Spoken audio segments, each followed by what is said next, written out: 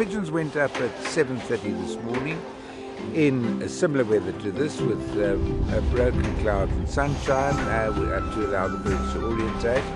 I believe they got away well. Uh, all conditions are favourable for the pigeons today and we're looking forward to them uh, completing the 125 kilometres in round about an hour and a half. Yeah, well, if you look and so on at the at the at the lofts, I mean it's an improvement. It's a new loft.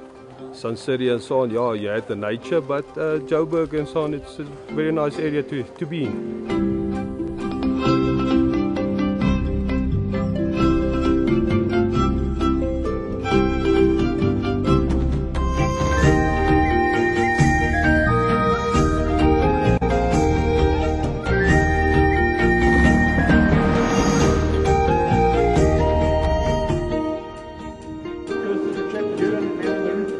You, you guys, you guys stand over there and have a look see them coming.